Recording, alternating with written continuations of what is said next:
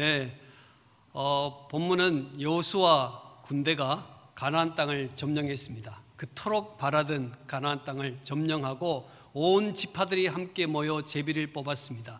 하나님께서 우리에게 어떤 땅을 주실까 기대하면서 제비를 뽑았는데 오늘 본문에 등장하는 단 지파는 남쪽 아모리 족속들이 살고 있는 블레셋 지방을 선택하게 되었습니다.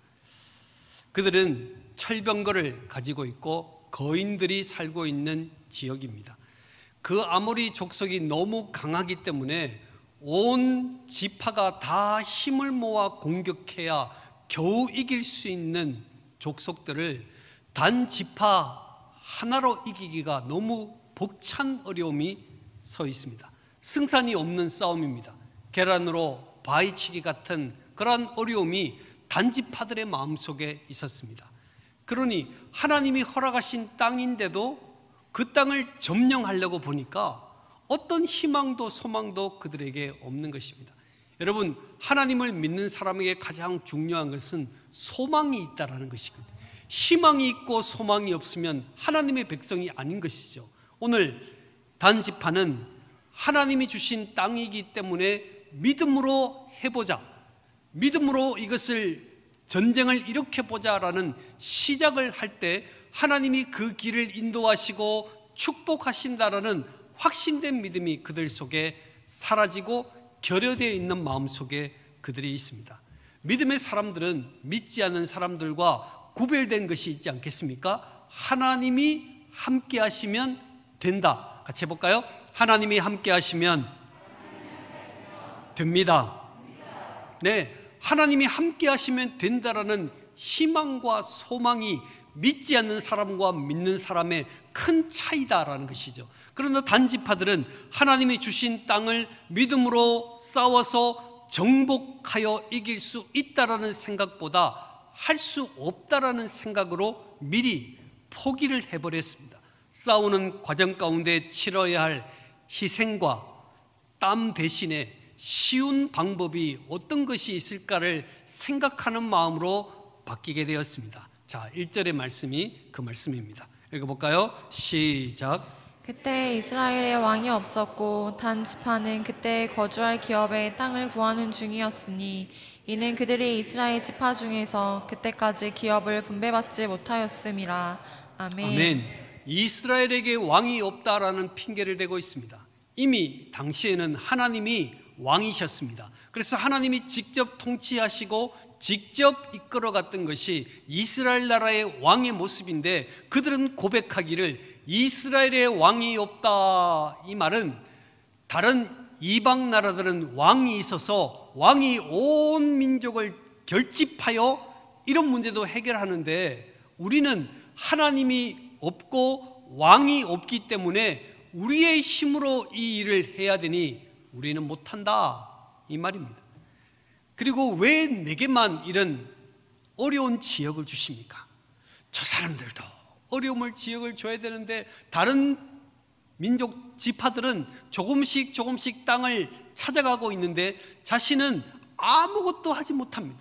왜 우리에게 이런 어려운 땅을 주십니까? 라는 원망이 그들의 마음속에 차 있습니다. 그러니 이리 갔다가 저리 갔다가 떠돌아다니면서 우리에게 다른 땅이 있을 것이다라는 생각을 오늘 단지파들에게 하고 있는 것입니다. 여러분 바로 이것이 불신앙 아닙니까? 하나님이 허락하신 땅이 있는데 그토록 기다렸던 가나안 땅에 가장 중요한 땅을 하나님이 허락하셨는데도 그들의 마음속에 하나님이 우리에게 땅을 주시지 않았으니 우리는 그 땅 대신에 다른 땅을 찾아야 한다는 불신앙의 마음이 단지파 마음속에 있게 된 것입니다. 그리고 더 큰 문제가 되는 것은 그들이 자신의 생각을 합리화하고 올바른 선택이라고 믿고 있다라는 점입니다. 하나님이 주신 땅을 믿음으로 정복하는 것이 하나님의 뜻이라면 그들은 그것을 정복하지 않고 쉬운 길이 있을 것이다. 더 괜찮은 것이 있을 것이라 생각하고 다른 땅을 선택하려는 것은 바로 불신앙임에도 불구하고 그들의 마음 속에는 이것이 옳은 것이다.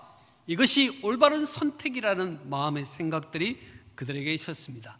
이처럼 이런 모습은 단 지파에게도 있었지만 이 시대를 살아가는 저와 여러분에게도 있는 모습 아니겠습니까? 어떻게 하든지 쉽게 모든 것을 해보려는 생각들이 우리들에게 있다라는 것을 잘 알고 있습니다. 좀 더 쉬운 방법은 없을까? 굳이 땀 흘리지 않고 노력하지 않아도 좀 더 잘 되는 방법은 없을까라고 생각하는 마음이 우리에게 있는 것이죠. 그래서 예배 드리는 일에만 집중합니다. 예배만 드리면 내 신앙이 다 되는 것처럼 그리고 예배 후에 함께 모여 즐거운 시간을 가지는 것은 매우 귀한 것이고 그것이 신앙생활이다 생각하며 살아가는 많은 사람들이 있습니다. 그러나 여러분 하나님께서 기뻐하는 것은 무엇이냐? 하나님은 내 인생에 허락하신 짐이 있습니다. 하나님이 우리 교회에 허락하신 짐이 있습니다. 그 짐을 지고 그 지금 짐을 책임지고 이끌어갈 수 있는 땀 흘림과 수고가 오늘 우리에게 있어야 되는데 많은 성도들은 예배만 드리면 되는 줄 알고 있어요. 내가 교회만 걱정하면 되는 줄 알고 있어요. 그러나 여러분 그렇지 않다는 것입니다. 하나님은 우리 인생에 짐을 주시고 우리의 교회에 짐을 주실 때가 참으로 많습니다. 때로는 교회를 건축하고 때로는 책임져야 될 일들을 우리가 맡았을 때 그 짐을 안 지려고 피하려고 하는 마음들이 우리에게 있다 보니 영적 싸움에 나서지 못하고 투정하며 시간을 보냅니다. 전도하는 일에 성교하는 일에도 아무런 관심을 가지지 않습니다. 그리고 마음에 생각하기를 나는 20년, 30년 오랜 신앙생활을 했으니 나는 신앙생활을 잘하고 있다. 나는 에덴교에서 직분자니 신앙생활을 매우 잘하고 있다라는 생각들이 우리 마음 속에 단지파의 마음 속에 있었던 것처럼 우리 마음에도 그러한 생각들이 있다라는 것입니다. 좀 더 쉽게 땀 흘리지 않고 수고하지 않고 행하는 일은 없을까라는 생각들. 옳은 길이라 믿고 걸어가는 길이 잘못된 길이 될 수밖에 없는 것은 바로 불신앙적인 마음을 가지고 있으면 하나님이 내게 허락하신 것인데 그 허락하심을 이루지 않고 피하려는 생각들은 바로 잘못된 길을 걸어가는 첫 단추다라는 사실을 기억해야 합니다. 오늘 저와 여러분의 삶 가운데 하나님은 어떤 사명을 주십니까? 하나님이 가족 구원에 대한 사명을 주실 때 하나님 저는 못해요. 저는 못해요. 우리 남편 술주전뱅이고 엉망이기 때문에 못해요. 우리 아들 자녀 절대 못해요. 여러분 하나님이 내게 주신 사명이고 짐이면 영적인 전투로 생각하고 그 길을 믿음으로 전진해야 되는데 단지파처럼 포기하고 나 못한다고 다른 사람이 했으면 좋겠다고 다른 사람이 그 일을 했으면 좋겠다라고 그러한 은근히 짐을 넘기는 일들이 우리에게 있습니다. 자, 보십시오. 단지파가 드디어 하나님이 주신 땅을 포기하고 다른 땅을 선택하여 나아가기로 결정하고 다섯 명의 용맹스러운 사람을 선택을 했습니다. 그래서 손쉽게 얻을 수 있는 땅이 어떤 땅일까를 정탐을 보냈는데 정탐을 가는 길에 에브라임 지역의 미가라는 사람의 집에 유숙하게 되었습니다. 처음에는 그 집에 가니까 신상도 보이지 않았고 제사장도 보이지 않았는데 가만히 시간을 보내다 보니까 제사장이 그 집에 있는 거예요. 그 집에 신상이 있는 것입니다. 여러분 생각해 보십시오. 이제 가나안 땅을 정복하여 그들은 하나님을 섬기는 민족이 되기 위해서 정말 열광하면서 하나님이 우리와 함께 하시는구나. 우리의 삶에 역사하시는구나 생각하며 기뻐했던 이스라엘 백성들이 모든 이스라엘 백성들인데 에브라임 산지의 미가라는 사람의 집에 신상이 있는 거예요. 우상이 있는 거예요. 그리고 우상을 지키고 그 가정만을 축복하기 위한 제사장이 있다라는 사실을 보게 되었습니다. 불신앙으로 출발하면요, 분별력이 사라져요. 내가 생각하는 이 믿음이 올바른 믿음이 아니면 분별력이 없단 말이에요. 오늘 보세요. 한 가정을 위한 제사장이 고용되어서 그 진밥만을 위하여 축복하고 있는 제사장이 있습니다. 근데 그 제사장은 하나님을 믿는 제사장인데도 불구하고 신상들, 우상을 갖다 놓고 그 우상을 섬기고 그 가정을 위하여 축복하고 있는 제사장은 반드시 옳은 제사장이 아니고 사이비 제사장일 것입니다.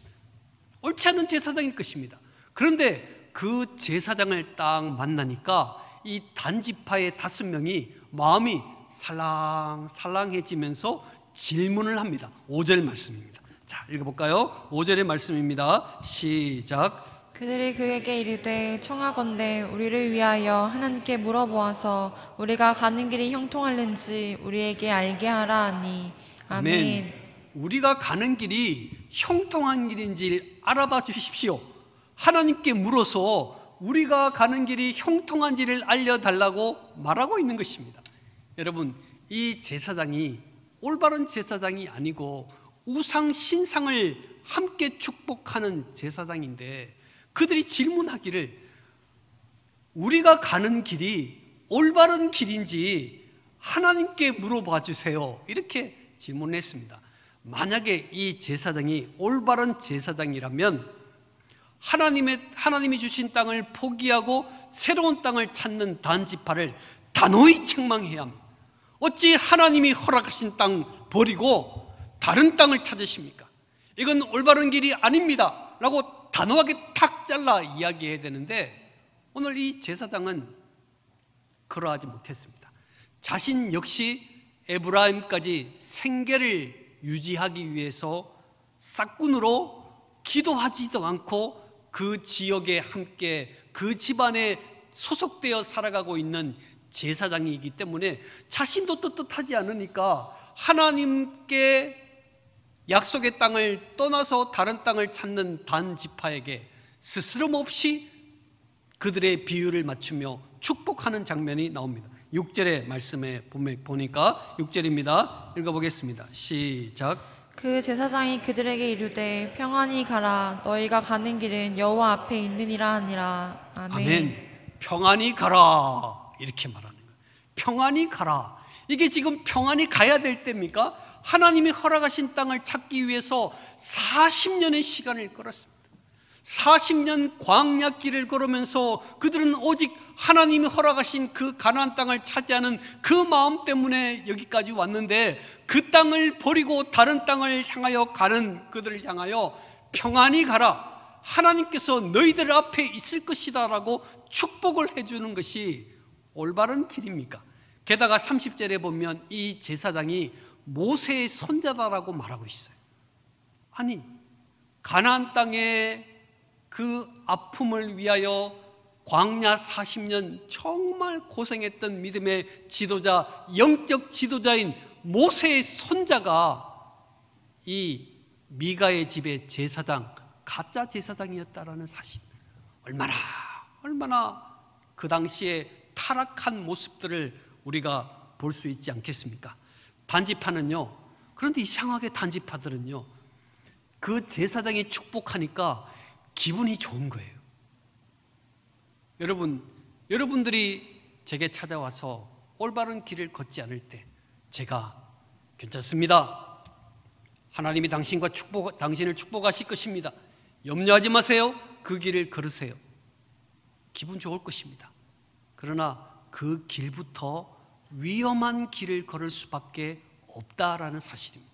그들이 제사장의 뜻하지 않는 축복 때문에 너무너무 기분이 좋아서 가나안 북쪽 땅에 있는 라이스 땅이라는 곳을 발견했습니다. 그 땅을 보니까 그 땅의 패권이 시돈이라는 나라가 나라가 있었는데 시돈이라는 나라가 그 지역을 다 돌보고 있었는데 이 시돈이라는 지역과 거리가 멀다 보니까 시돈의 나라가 이 땅 가운데 영향을 안 미치다 보니까 전쟁도 일어나지 않고 군대도 없고 그들에게는 부유함과 평안함이 가득 차 있는 모습들을 보게 되었습니다. 아하, 하나님이 선지자를 통하여 축복하시더니 진짜 우리에게 복을 주시나 보다 생각하며 그들의 마음이 흡족했던 것을 우리는 보게 됩니다. 단지파는 불순종하고 진행하는 길이었지만 모든 것이 평탄하게 진행되면서 그들의 마음에 흡족한 마음이 되고 있습니다. 오늘 저와 여러분이 하나님이 원하지 않는 길, 불순종의 길인데 그 길이 너무너무 잘 될 때가 있습니까? 자녀들이 하나님을 하나님을 두려워하지 않고 엉망진창으로 걸어가고 있는데도 그 길이 평탄한 길처럼 잘 되고 있으니까 그 길이 좋은 길이라고 착각하십니까? 여러분 하나님이 원하지 않는 길이 우리 가정 가운데 있는데 그럼에도 불구하고 우리 가정이 너무너무 잘 되고 어려움이 없으니까 그것이 평탄한 길처럼 여겨지십니까? 여러분 편안한 길이 옳은 길이 아닐 때 문제가 생긴다는 사실을 기억하셔야 합니다. 같이 해볼까요? 편안한 길이 옳은 길이 아닐 때는 문제가 생깁니다. 그렇습니다. 내가 유익한 길인데 그 유익한 길 때문에 신앙의 양심이 꺼림직해진다면 문제가 있는 길입니다. 너무너무 잘 되는 거예요. 내가 어떻게 하든지 물질을 얻기 위해서 내가 어떻게 하든지 저 사람을 끌어들이기 위해서 내가 생각하는 것으로 향하여 열심히 걸어가는데 그 길이 신앙의 양심에 꺼림직한 일이 되면 멈춰야 됩니다. 돌이켜야 됩니다. 오늘 단지파들은 라이스라는 지역을 보고 거짓 제사장이 축복을 해준 결과로 마음이 너무너무 흡족했습니다. 이야, 이대로 가면 우리가 얼마든지 좋은 땅을 살 수 있겠다. 하나님이 허락하신 땅 아니어도 얼마든지 좋은 땅을 살 수 있겠다라고 생각하고 그들이 신속하게 돌아가서 이렇게 보고합니다. 10절. 읽어볼까요? 시작. 평화로운 백성을 만날 것이요 그 땅은 넓고 그곳에는 세상에 있는 것이 하나도 부족함이 없느니라 하나님이 그 땅을 너희 손에 넘겨 주셨느니라 하는지라 아멘. 아멘. 자, 보십시오. 이 정탐꾼 다섯 사람은요, 지금 자신들이 하는 일이 옳지 않다라는 것을 알고 있습니까? 모르고 있습니까? 알고 있습니다. 알고 있기 때문에 거짓 제사장을 만났을지라도 하나님이 우리와 함께하는지를 물어봐 주십시오라고 말한 거예요. 그들은 알고 있었습니다. 이 길은 옳은 길이 아니라는 거. 하나님이 주신 땅이 있는데 그 땅이 아닌 다른 땅을 선택하는 것이 올바른 길이 아니라는 것을 누구보다도 잘 알고 있습니다. 그러나 그들은 마음속에 기쁨으로 찾아가서 이렇게 말합니다. 그들은 평화로운 백성이었습니다. 그들은 아무것도 부족함이 없는 자들이었습니다. 게다가 하나님께서 전쟁에서 승리한다고 약속해 주셨습니다. 그러니 우리가 얼마든지 그 일을 할 수 있습니다라고 백성들을 선동하기 시작합니다. 여러분, 불신앙적인 길을 걸으면요. 분별력이 사라지고요. 분별력이 사라지면 다른 사람을 선동할 수밖에 없는 것이 불신앙의 길을 걷는 사람들의 특징이다라는 거예요. 그러니 그 이야기를 들은 라이스 사라이 단 지파들이 당장 600명을 동원해줘서 그 땅을 점령하기로 결정을 했습니다. 자, 오늘 12절의 말씀을 볼까요? 12절입니다. 읽어보겠습니다. 시작. 올라가서 유다에 있는 기란 여아림에 진치니 그러므로 그곳 이름이 오늘까지 마한에 다니며 그곳은 기란 여아림 뒤에 있더라. 아멘. 그 땅을 점령하기 위해서 기란 여아림이라는 지역에 도착했습니다. 근데 그 백성들이 그 땅에 진을 칩니다. 이 600명의 사람들이 진을 치고 그 지역에 머물기 시작합니다. 여러분, 바로 공격에 들어가야 되는데 진을 치고 머물러 있다라는 사실은 무엇입니까? 그 속에 자중 질환이 일어나고 있다라는 것입니다. 돌아가야 한다. 그 600명 안에도 우리가 이렇게 하면 안 된다. 하나님이 우리에게 주신 땅이 있는데 그 땅으로 돌아가야지 왜 우리가 이곳에 있느냐라는 사람이 있고 아니다. 하나님이 주신 땅이었지만 그 땅은 형편없는 땅이요. 그 땅을 점령하다가는 우리 지파가 다 죽을 수밖에 없기 때문에 우리는 라이스라는 지역으로 가야 한다라는 두 가지의 갈림길이 있었다라는 거예요. 사랑하는 성도 여러분, 우리가 불신앙의 길을 걸을 때 하나님은 항상 기회를 줍니다. 갈 것인가? 멈출 것인가? 갈 것인가? 멈출 것인가? 이것은 하나님의 말씀으로 또한 내 양심으로 하나님께서 가야 할 것인가 말아야 할 것인가에 대한 갈등이 우리 속에 생기게 되어 있습니다. 하나님은 단지파를 멸하시기 전에 이미 갈등할 수 있는 선택의 기회를 주었습니다. 믿음은 선택하는 것입니다. 같이 해볼까요? 믿음은 선택하는 것입니다. 믿음은 선택이에요. 오늘 단지파가 기란 여아림이라는 지역에 단을 치고 이 장막을 내려서 머물러 있는 동안에 갈등이 극심하게 일어납니다. 우리가 하나님의 백성 아니냐. 하나님의 백성은 하나님의 방법으로 살아야 되니까 우리가 힘들더라도 돌아가서 아모리 족속을 쳐부수자. 이런 생각들이 있는 반면에 아니다 이거예요. 왜? 선지자 제사장이 우리를 축복했지 않냐? 하나님의 뜻일 수 있지 않냐? 가자라는 두 가지 파 중에서 결국 강경파가 승리하게 되었습니다. 왜요? 라이스라는 지역을 본 그 사람들이 아주 강경파가 되어서 그 땅을 가야 한다라고 했기 때문에 결국 이 단지파는 라이스라는 지역을 점령하기 위해서 출발하게 되었습니다. 근데 이상하게요. 에브라임 산지에 있는 미가의 집으로 먼저 가는 것입니다. 아니, 왜 곧바로 라이스라는 지역을 가면 되는데 그 집 미가라는 사람의 집에 머물렀습니다. 왜일까요? 18절 말씀입니다. 18절 말씀 시작. 그 다섯 사람이 미가의 집에 들어가서 그 새긴 신상과 애복과 드라빔과 부어 만든 신상을 가지고 나오매 그 제사장이 그들에게 묻되 너희가 무엇을 하느냐 하니 아멘. 아멘. 에브람 산지에 있는 미가의 집에 들어가서 한 일은 그 집안에 있는 신상들, 우상을 무력으로 빼앗는 일이었습니다. 지금 그들은 누구를 믿는 사람들입니까? 하나님을 믿는 사람입니다.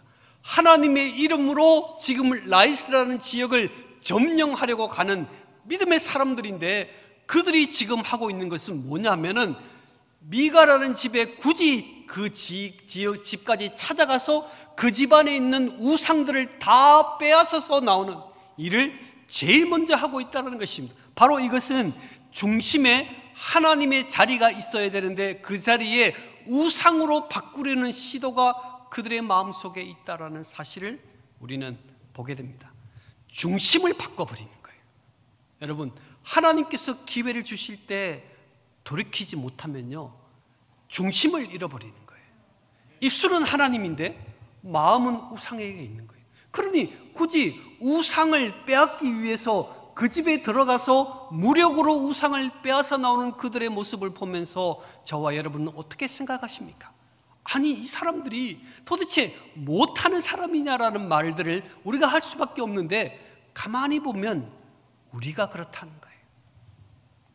우리의 자리가, 하나님의 자리가 우리의 삶의 가장 중심이 되어야 되는데 나도 모르게 하나님께서 주신 분별력을 잃어버리고 서 있으니까 나도 모르게 주인이 우상으로 바뀌어 버리는 거예요. 저 우상이 없으면 안 될 것 같은 긴급함이 그들의 마음속에 생기게 되었습니다. 그리고 그 집안에 있는 거짓 제사장에게 요구를 합니다. 당신이 이 집 한 집을 위한 제사장이 될 것인가? 단지파 전체를 향한 제사장이 될 것인지를 선택하라. 그러니 이 거짓 선지자는 어떤 사람입니까? 돈 때문에 그 자리에 온 사람이거든요. 그러니 더 많은 부귀와 영화를 누릴 수 있으니 얼마든지 포기할 수 있게 그 단지파를 따르겠다고 말하고 있습니다. 왜 단지파는 제사장이 필요한 것일까요? 모든 백성들에게 하나님이 함께 하신다는 명분을 주기 위해서는 제사장이 따라와야 되는 것이거든요. 그래서 제사장을 데리고 명분 있게 갑니다. 그러나 마음속에는 우상이 가득 찹니다. 하나님이 우리의 길을 예비하셨습니다. 그러나 마음속에는 우상이 가득 차잖아요. 이게 있어야 된다는 거예요. 우상이 있어야 된다고 생각하고 단집하는 그 길을 걸어가고 있는데 이 길이 우리의 모습이라 생각할 때 너무너무 안타까운 거예요. 마음은 세상에 가득 차 있는데 마음은 세상의 추세에 가득 차 있고 마음은 우리 자녀들이 잘 됐으면 좋겠고 마음은 무엇이든지 세상 그 가운데 무엇이든지 구하면 주는 우상 앞에 마음이 빼앗겨 있으면서도 입술은 하나님인 거예요. 하나님, 하나님, 하나님, 하나님이 있으면 됩니다. 라고 입술로 고백하면서도 마음으로는 온갖 세상의 더러움 속에 빠져 있는 것이 불신앙으로 출발하는 사람들에게 있어서 중요한 일이었다는 것입니다. 자, 그러면 여러분 보세요. 불신앙으로 입술은 하나님인데 마음은 우상인 사람이 잘 안 되면 그 봐라, 그 봐라. 하나님보다 세상이 먼저가 아니냐 이렇게 생각할 거 아니에요. 자, 보십시오. 이 단지파가요, 평화롭던 라이스 땅을 정복해 버렸습니다. 그리고 단지파를 따라간 제사장도 성공을 했습니다. 단지파도 성공하고 그 지파를 따라간 제사장도 출세를 한 것처럼 보입니다. 그러나 이것이 하나님의 버려두심이라는 사실을 여러분 기억하셔야 합니다. 마지막 심판의 마지막 단계라는 사실을 기억해야 합니다. 하나님 없이 잘 되는 거 심판의 마지막입니다. 하나님을 떠난 모든 부귀 용화가 아무리 잘 될지라도 그 마음에 세상이 가득 차 있으면 여러분 심판받을 수밖에 없어요. 하나님이 내버려 두시는 거예요. 여러분 큰 죄악이 뭐냐면 하나님께 가장 하나님이 무서 무섭게 내리는 질병 이 심판은 내버려 두심이에요. 내가 지금 악한 일을 하고 있는데 하나님은 가만히 두시는 거예요. 내가 지금 선하지 않는 방법으로 사기를 치면서 다른 사람의 마음을 아프게 하는데도 잘 되는 것은 하나님의 내버려 두심이라는 사실을 여러분 기억하셔야 됩니다. 그래서 시편 36편 12절 말씀입니다. 한번 읽어보겠습니다. 시편 36편 12절 시작. 악을 행하는 자들이 거기서 넘어졌으니 엎드러지고 다시 일어날 수 없으리이다. 아멘. 아멘. 그대로 두세요. 그대로 두세요.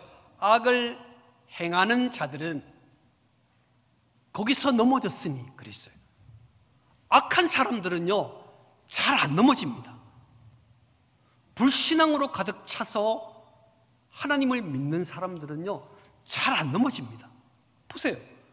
악을 행하는 자들은 거기서 넘어졌으니, 악인들은 잘 안 넘어져요. 그러나 하나님을 신실하게 믿는 사람들은 매일 넘어집니다. 매일 넘어져요. 그런데도 하나님을 신실하게 믿는 사람들은 넘어져도 하나님께서 오뚜기처럼 그들을 일으키는 거예요. 또다시 기도하는 거예요. 또다시 회개하는 거예요. 하나님 잘못했어요. 하나님 잘못했어요. 내가 이렇게 할게요. 다시 일어나서 또다시 일을 하고 또다시 일을 하는 오뚜기 신앙인데 악을 행하는 사람은 회개함이 없거든요. 악을, 악을 행하는 사람은 입술은 하나님이기 때문에 나는 하나님을 잘 섬긴다고 생각하거든요. 그래서 안 넘어지는 거예요. 그러나 악을 행하는 사람들이 거기서 넘어졌으니 엎드려졌으니 다시는 일어날 수 없다라는 거예요. 이 차이입니다. 여러분, 악한 사람은요, 잘 안 넘어지지만 넘어지면 다시는 일어날 수 없어요. 그러나 하나님을 신실하게 섬기는 백성들은 매일 실수하고 매일 잘못했고 매일 잘못했다고 하나님 앞에 강구하지만 하나님은 그때그때마다 다시 일으켜서 새 힘을 주시는 분이 우리의 하나님이십니다. 오늘 단지파를 보십시오. 그들이 일어나는 모든 일은 너무나 악한 일이었습니다. 하나님을 섬기는 자들이 하나님의 약속을 버리고 분별력을 잃어버리고 거짓 방법을 동원해서라도 어떻게 하면 이 목적만 이루면 된다고 생각하여 목적을 다 이루었습니다. 그런데 훗날에 보니까 단 지파의 땅에 금송아지가 세워졌다라는 거예요. 다른 종교가 되어 버렸습니다. 하나님을 믿는 자들인데 마음에 세상이 가득 차니까 금송아지가 단 지역에 가만히 서 있는 거예요. 그래서 수많은 사람들이 예루살렘에서 예배 드리려고 할 때 그 길을 가지 못하게 하고 단 지역에 금송아지를 섬기게 만드는 일을 하게 되었습니다. 게다가 바벨론 포로 이후에 단 지파는 종적을 완전히 감추어 버렸습니다. 단 지파가 없어져 버렸어요. 계시록 7장에는 구원받은 영적 이스라엘에 대해서 소개하면서 단 지파의 명단이 빠져 있습니다. 그 자리에 레위 지파가 들어가 있습니다. 여러분, 처음에는 불의한 동기로 시작했습니다. 하나님의 뜻을 알면서도 하나님의 뜻을 추구하지 않고 내 생각에 좋은 방법을 택하여 그 길을 걸어갔습니다. 처음에는 그렇게 다른 점이 없었어요. 비슷했어요. 다른 지파도 조금씩 조금씩 땅을 얻고 있는 상황이었기 때문에 특별히 다른 점은 없었습니다. 하지만 그 불의한 동기와 잘못된 선택이 점차적으로 공동체의 미래에 부정적인 영향을 끼치고 있다라는 이 사실에 대해서 우리는 주목하지 않을 수가 없습니다. 저는 오늘 본문의 말씀을 정리하면서 단지파는 불신앙의 길을 선택하다 보니까 죄악이 정당화되고 쉬운 길을 선택했습니다.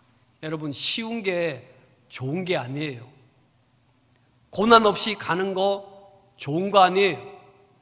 내 인생에 어려움 없이 승승장구하는 것 좋은 것 아니에요. 하나님이 내게 주신 바 도전이 있을 때 힘들더라도 영적으로 그 일을 부딪히셔야 됩니다. 하나님이 기뻐하시는 길이라면 그 길을 하셔야 합니다. 많은 성도들이 새벽 기도에 와고 많은 성도들이 제게 찾아와서 하는 말이 뭔지를 아십니까? 많은 분들이 제게 이야기하기를 굳이 어려운 일을 만나지 않고 잘 되게 하면 좋을 텐데 하나님이 왜 내, 나한테 어려움을 주시냐 이거예요. 왜 어려움을 주시냐. 그러나 여러분 그것은 하나님께서 우리를 사랑하심 때문 아닐까요? 오늘 저와 여러분이 이 시대를 살아가면서 하나님의 뜻을 모르는 사람 한 사람도 없습니다. 여러분 신앙생활을 웬만큼 하시면 하나님의 뜻 알고 있습니다. 다 알고 있어요. 그런데 하나님 앞에 나와 울며 불구하는 이유를 여러분 아십니까? 하나님의 뜻은 이미 우리가 알고 있어요. 그런데 우리는 눈물로 기도합니다. 하나님, 어떻게 하면 좋겠습니까? 이렇게 기도하는 거예요. 왜일까요? 그거 싫다는 거예요. 하나님의 뜻도 싫다는 거예요. 내가 원하는 대로 하나님 좀 해주세요. 그러면 안 되겠습니까? 우린 자꾸 쉬운 길을 선택하려고 해요. 하나님 지금 예배 드리기도 힘든데 전도라니요? 아니요. 하나님께서 우리는 영적으로 싸워서 태신자를 작정하고 그 눈물로 기도하고 전할 때 구원의 역사를 주신다고 하셨거든요.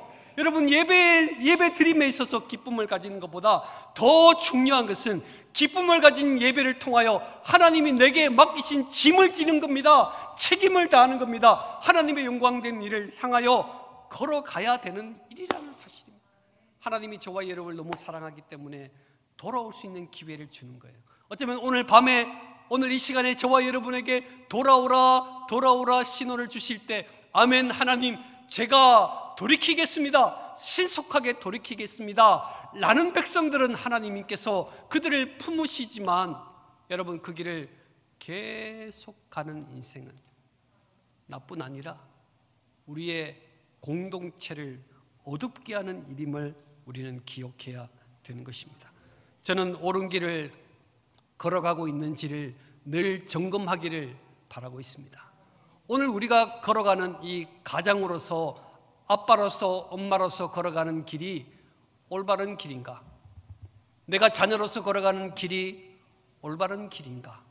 이걸 늘 우리는 점검하고 살아가셔야 합니다. 그리고 아니란 태도, 불신앙적인 태도는 적극적으로 싸워서 그 태도를 이겨나갈 수 있는 결심이 오늘 저와 여러분에게 있기를 바랍니다. 옳은 길을 걷고 있다가 나는 옳은 길이라 생각하고 걸었는데 그것이 잘못된 길이라면 여러분 잘못된 길이라면 신속하게 돌아오셔야 돼요. 왜요? 그것이 우리 가문에 우리 집안을 어둡게 할 수밖에 없고 잘못된 길로 이끌 수밖에 없기 때문에 믿음의 사람 저와 여러분을 하나님께서 예배의 단에 부르셔서 말씀하시기를 점검해라 점검하라 내가 걸어가고 있는 이 길이 올바른 길이냐 내가 걷고 있는 길이 하나님을 기쁘시게 하는 길인지를 오늘 이 시간 하나님께서 우리에게 질문하고 있습니다. 기도하겠습니다.